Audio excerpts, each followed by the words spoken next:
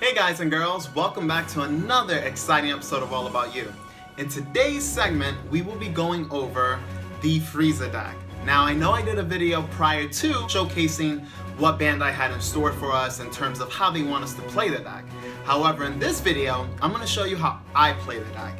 And what's good about it is, is that like many others have said in other channels, you could play the deck as a red-blue variant or a red-yellow variant. So far, those are the most successful combinations as of yet. However, you're gonna see my twist of things and how I play my variant a little different from a lot of other deck profiles that you have seen, and I've had a lot of success with it. So far, through testing, it's been great. Now, before I start this video, I want all of you guys to list in the comment section below what topics do you want me to discuss as far as Dragon Ball Super the card game and as far as life related topics? Because this channel will have other features in it where we will be talking about real life related things you know whether it's relationships whether it's job career things that you have in mind that you want to do in life or you're afraid of doing life just a multitude of different topics. So whatever you're interested in talking about list your comment below so I can see you know, and we can have a collective chat of different ideas to help one another. But without further ado, let's begin. All right, guys. So we have our Frieza leader.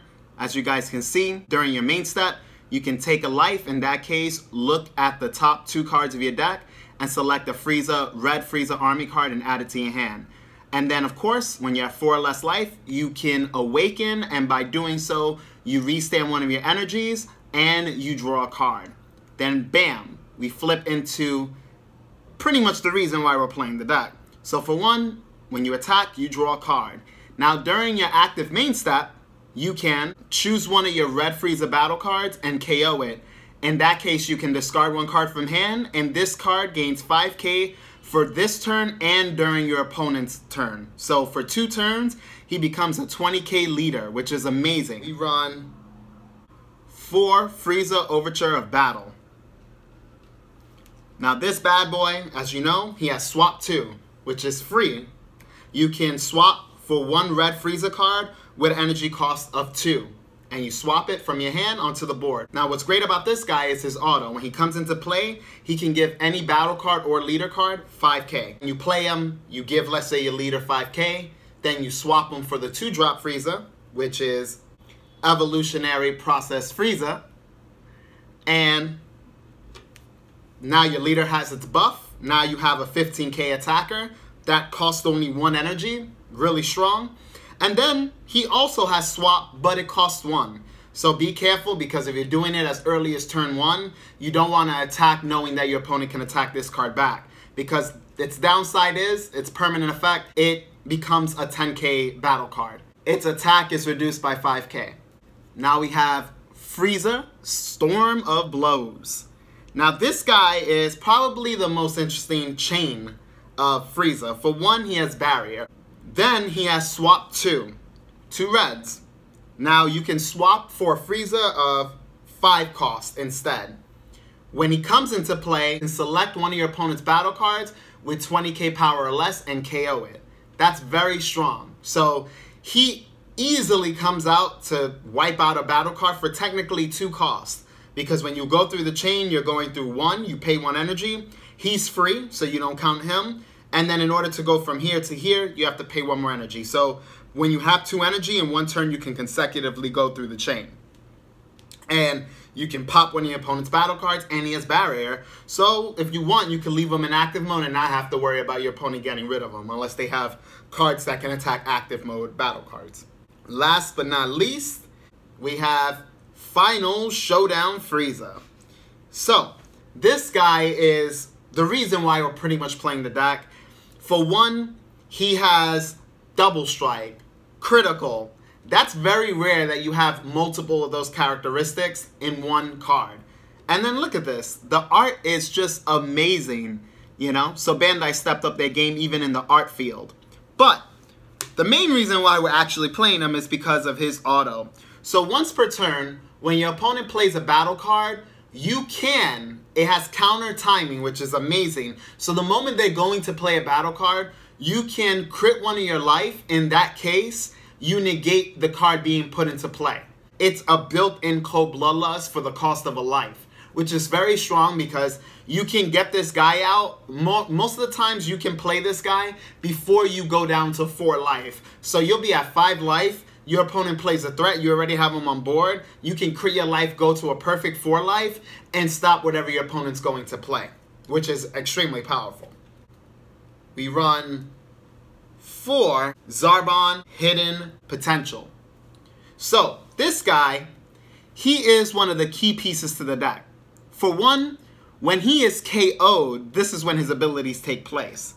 You draw one card, and you can select one of your opponent's battle cards and reduce its attack by 15k. So you reduce its overall power by that amount, which is very, very strong because in conjunction with other cards we have, we can use cards like Captain Ginyu, Body Change. So if we reduce their cost by 15k, this gives us access to being able to use our Body Change Ginyu to be able to take their higher cost cards. Example, you KO this card with your leader's effect while you're awakened, you draw your card, you're filtering, and you reduce their, their power. Now you play your Body Change Ginyu. You can now take anything that's 35k or less and take control of it because if you use his effect, now they become 20k if they were a 35k battle card. Not only this, but when Captain Ginyu comes into play, he gives all your Ginyu cards plus 10k, including himself. So when he comes into play, he's a 25k beat stick. Then during your active main step, you can, after you're done attacking or doing whatever you have to do with him, you can pop him off the board, he goes into your drop zone, then you move him into your opponent's field, then you select one of your opponent's battle cards with 20k or less and move it to your side of the board. And what's great is if that, they were in rest mode, you can turn them into active mode, which is very powerful. Moving forward, we run our Strike Force Jeice. Essentially, all he is is our super combo that you can use while you have five life or less. When you have five or less life, this card gains plus 10k and draws a card. Pretty simple and it also can be used with Frieza's effect if need be. Now moving on to our utility cards for the deck. Three, Shenron, Figure of Majesty. When you have five or more cards in your drop area, this is when you can use his sparking effect. So for one, you draw a card. Then you select one of the above. However, you cannot see the card. So a lot of you guys make sure that when you draw your card, you don't look at the card. So you just, you could draw it if you want, technically, you draw it, you, you put it aside, and then you select one of the abilities, or you can just talk to your opponent and say, hey, I'm gonna select whatever ability before the hand, before you draw your card, so that it's common knowledge of what you're going to do.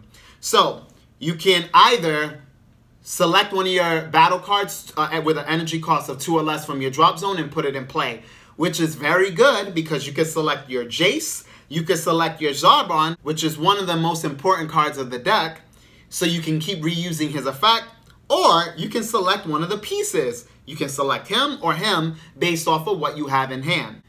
Your next ability, you can also select up to two of your energy and put it into active mode. And then one of the last abilities you can use is give one of your battle cards 5k plus crit. So that means everybody in your deck could have critical, which is very strong. Now, moving on to our extra cards. Starting off, we have two Planet M2. Now, this is a field card. When this card is placed in the battle area, if your leader card is Dr. Myuu, you would draw one card. What's great about this is during your active battle step, you can select one of your opponent's cards, whether it's their leader or battle cards, and reduce its combat by 5k. So you're going to reduce his overall power by 5k, which is very strong for that battle step. What's great is, is that if they, you selected a battle card that originally had 5k, you can kill it off, which is one of the per perks of Planet M2. Moving forward, we run for After Image Technique. Now, After Image is a counter attack. It's not a negate. However, what it does is if your leader card is red, you can choose one of your cards and give it 40k, which is strong. And you can select one of your opponent's cards and minus it 10k which is great because you can also kill battle cards by using this card. Now, it's permanent sparking effect. If you have five cards in your drop zone, you can use it for free by adding a card from your life area to your hand, which means that you can now gain advantage by gaining a card into your hand while still being able to hit your opponent's card by 10k and giving you a buff by 40k. Our next actual negate is Paralysis Technique one of my favorites. For one, it just costs one red. You negate the attack of your opponent's card, then you can select all your opponent's battle cards and leader card and reduce their power by 5k. This is extremely strong considering that we are playing a Red Frieza army leader. It can literally screw up your opponent's sequencing if they don't know what this card does in advance. So they have to be careful on how they attack you because if they start laying down small cards such as Yajirobes or little guys like Kamis or Dendes, you can freely blow them up. Our blue package, we run four Whis Coercions, pretty standard. All you do is negate the attack and restand one of your energy.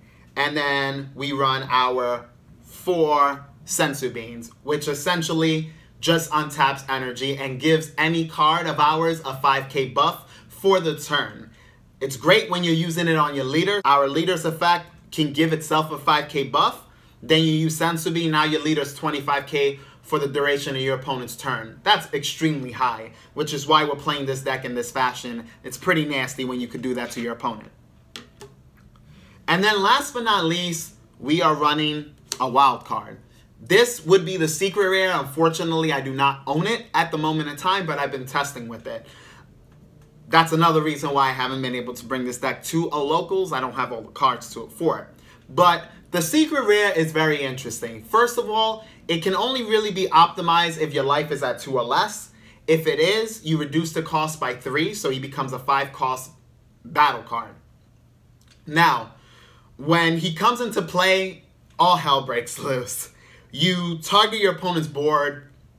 You can remove all battle cards on your opponent's side of the board, 40k or less, ignoring barrier, which is already a huge plus.